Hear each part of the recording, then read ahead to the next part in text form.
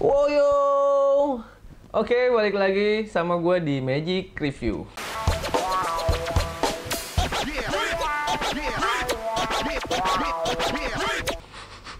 Nah, di kesempatan kali ini gue pengen nge-review mouse terbaru wireless dari SteelSeries. Sebelumnya, gue pengen sedikit cerita-cerita nih. Setelah nyabut penghargaan untuk Best Gaming Headset Wireless di tahun 2018, yang awal kemarin.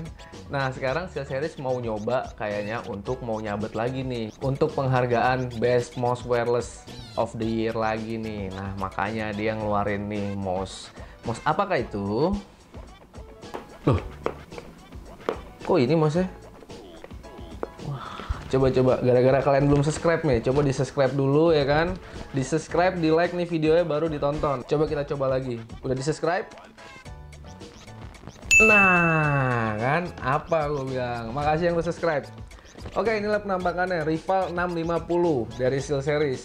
Seperti yang kalian tahu dari seri sebelumnya ada Rival 600 yang versi kabelnya. Nah, Steel Series baru ngeluarin nih yang versi wirelessnya atau yang dibilang tanpa kabel Rival 650 ya seperti Logitech. Logitech kan juga ngeluarin tuh kemarin dari 403 wireless terus uh, 603 wireless 703 wireless dan itu bentuknya nggak beda jauh. Makanya dia ngeluarin versi wirelessnya dari Rival 600 yaitu Rival 650 oke langsung aja kita buka yuk. Penasaran nggak sih dalamnya kayak gimana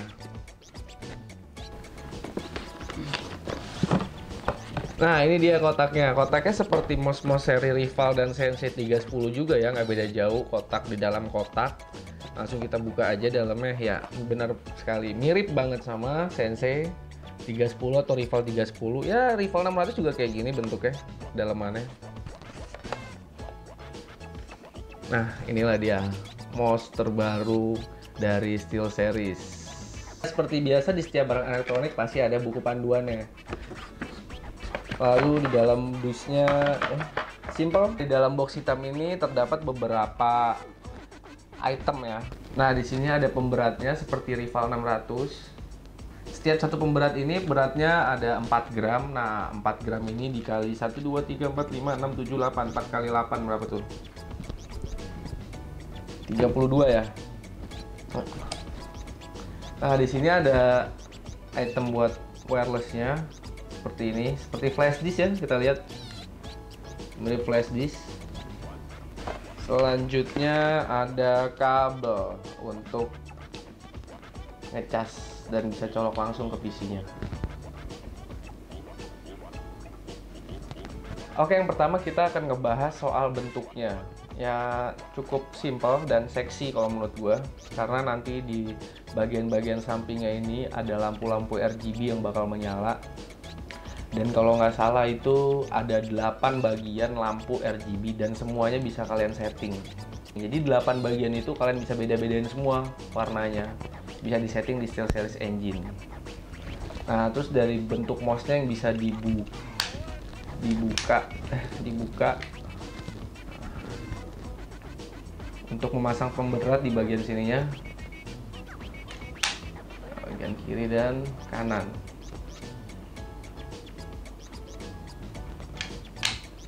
Oke. Gimana menurut kalian untuk dari segi bentuknya kita kasih nilai berapa ya? Komen di bawah ya. Selanjutnya dari yang bikin berbeda dari mouse-mouse series lainnya, Rival 600 dan Rival 650 itu dia memiliki pemberat. Pemberatnya ini jadi kalian bisa nyeting pemberatnya sesuai dengan keinginan kalian. Dan bentuk dari pemberat ini kenapa bentuknya kayak gini? Agar kalian bisa memudahkan kalian untuk menyimpannya di kabel keyboard seperti ini. Jadi nggak hilang-hilangan gitu. Keren ya? Dan menurut gue kalau mouse ini cocok banget buat tangan yang ukurannya normal. Maksudnya nggak gede banget dan nggak kecil banget gitu. Pas lah buat tangan tangan gue pas sih. Ya ini karena tangan gue nggak gede-gede banget dan juga nggak kecil-kecil banget ya normal. Pas bentuknya dari mouse ini nggak masalah ya buat kalian yang megang mouse dengan palm atau claw ya nggak masalah. Karena grip depannya ini cukup panjang dan dia bisa buat nahan kalian yang jarinya panjang-panjang gitu buat ngekliknya sampai ke depan. Yang klikernya terpisah dari bagian mouse-nya jadi nggak nggak sama sekali nggak ngeganggu ya. Dan rata-rata clicker yang terpisah dari mouse gini tuh lebih enteng. Dan kalian tahu nggak kalau mouse ini dilengkapi dengan dua sensor? Yang pertama itu one on one tracking yang kayak Seal Series tuh ngejamin gitu bahwa mouse-mouse-nya dia tuh nggak ada yang delay. Jadi one on one satu banding satu. Jadi benar-benar nggak ada yang delay satu milisecond jadi.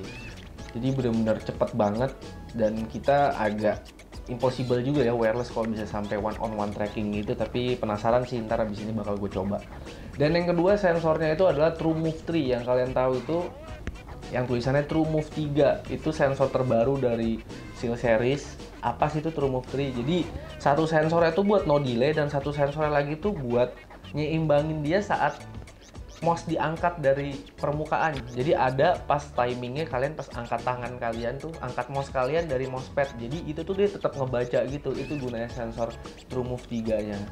Jadi kayaknya cukup timba ya mouse ini. Punya dua sensor sekaligus. Jadi yang satu buat yang di pas lagi main, yang satu lagi pas lagi kita ngebanting kanan kirinya kan agak diangkat tuh pasti nah dia tetap ngebaca. Mouse ini bentuknya ergonomik. Apa itu ergonomik? Ergonomik itu jadi cuma bisa dipakai di tangan kanan atau pemain player yang pakai tangan kanan. Beda sama ambidextrous. Kalau ambidextrous itu dia kanan kiri bisa. Jadi kalau kayak sensei itu ambidextrous karena dia benar-benar uh, bentuk kanan kirinya itu sama.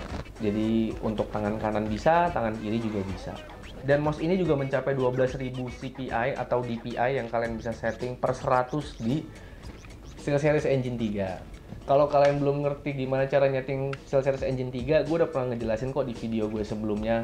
Dicari aja, oke? Okay?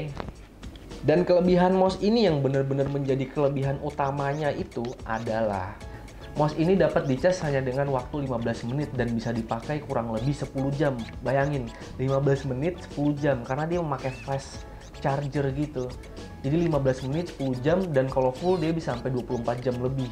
Gila ya. Seperti mouse-mouse lainnya, mouse ini mempunyai kekuatan 60 juta kali klik. Jadi kalian klik ini nyampe 60 juta kali nih. 1, 2, 3, 4, 5, 6, 7, 8, 9, 10, sampai 60 juta.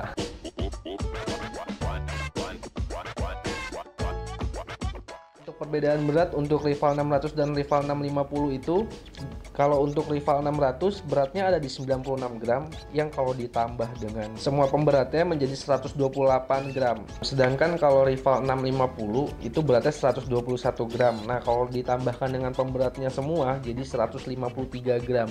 Jadi emang lebih berat yang wireless ya daripada yang kabel karena dia memiliki mesin yang cukup banyak dibanding dengan mouse-mouse kabel biasa. Polling rate-nya pun udah 100 Hz dan latensinya yang dapat minimal banget yang kayak tadi gue bilang hanya satu milisecond. Jadi ya buat game bisa. Terus kalau buat kalian yang mau pada ngedit atau nggak mau ribet untuk manajemen kabel di setup PC kalian juga ya pas lah untuk mouse wireless kayak gini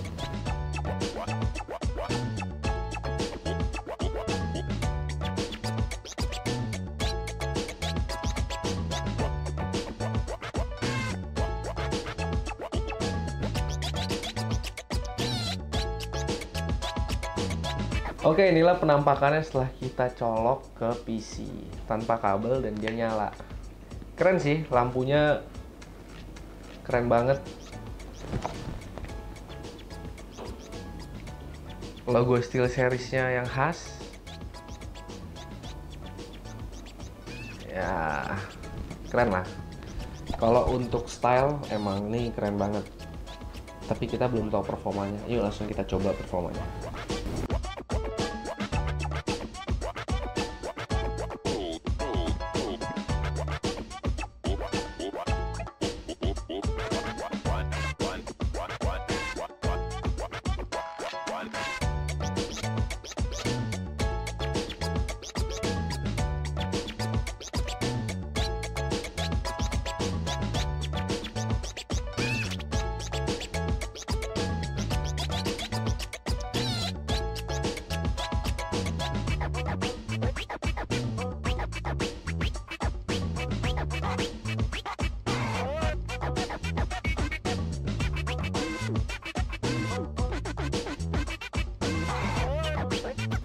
Oke, sekian review dari gue untuk Rival 650. Gimana menurut kalian? Kalau menurut gue sih overall hmm, untuk harga 1.800-an uh, untuk mouse wireless ya emang harga rata-rata segitu kalau untuk mouse wireless yang berkualitas ya.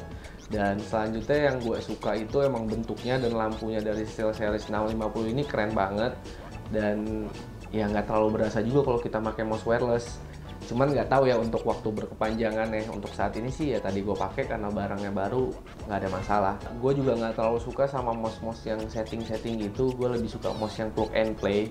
Nah itu menurut gue gimana menurut kalian? Untuk harga 1,7 sampai 1,8 dan untuk fitur dan kelebihan mouse yang seperti ini gimana apalagi untuk kalian pecinta-pencinta mouse wireless yang bikin setup kalian tuh bakal rapi banget tanpa kabel. Dan untuk ngegame dan untuk lain-lain juga nggak masalah banget mouse ini. Karena yang gue suka itu ngecasnya sebentar dan bisa make lama. Bayangin aja bisa sampai 20 jam dan cuma ngecas 5 menit aja bisa sampai 5 jaman Oke, sekian Magic Review kali ini untuk Rival 650. Gimana menurut kalian? Silahkan komen di bawah. Dan jangan lupa di subscribe, di like, dan komen juga ya kalian pengen gue nge-review barang apa lagi selanjutnya. Oke, see you. Boyo!